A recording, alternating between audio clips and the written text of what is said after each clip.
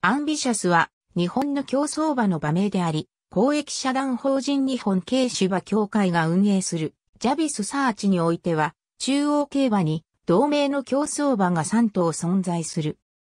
アンビシアスは1967年2月28日生まれのメス。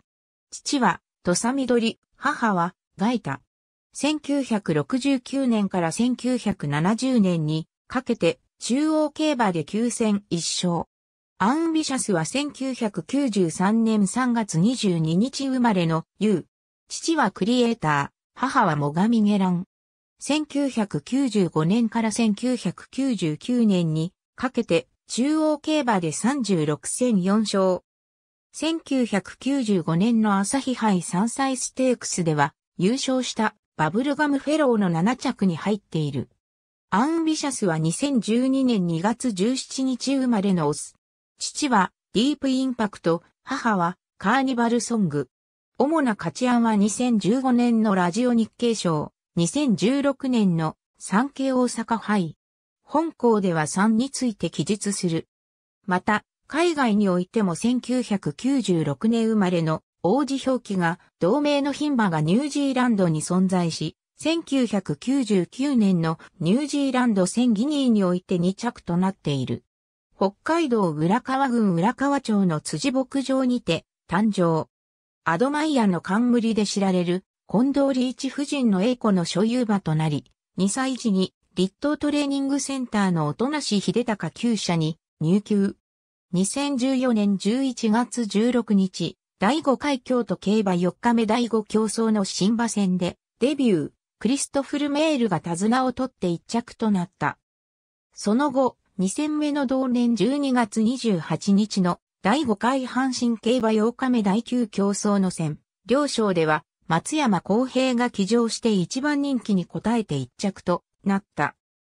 2015年、明け3歳初戦に第49回、共同通信杯に出走、4番人気で、リアルスティール、ドラメンテと、ほぼ互角の3着に入選し、第62回毎日杯では1着のミュゼエイリアンと、差がない3着に入選したが、賞金を加算できなかったために、皐月賞をパスして、日本ダービー指定トライアル競争のプリンシパルステークスへ方向転換。5月9日の同競争では一番人気に応えて一着となったが、第82回日本ダービーには出走しなかった。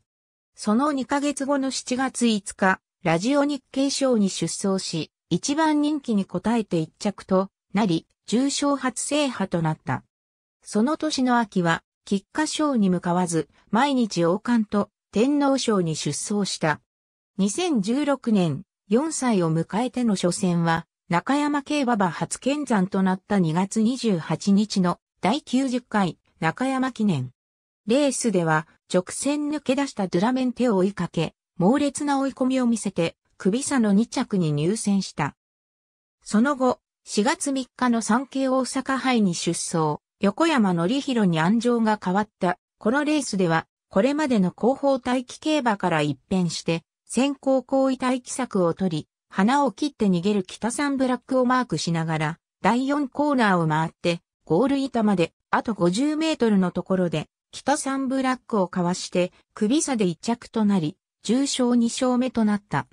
その後、6月26日の第57回宝塚記念に3番人気で出走したが16着と大敗した。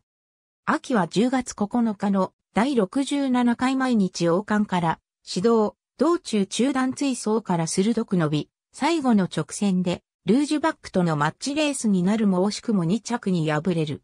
10月30日の第154回天皇賞は4着に終わり、休養に入った。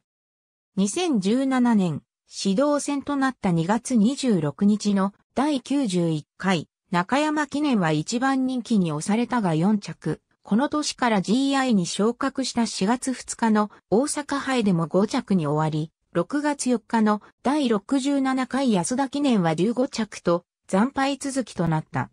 同年9月23日付で JRA 競走馬登録を抹消、オーストラリアに移籍する。ありがとうございます。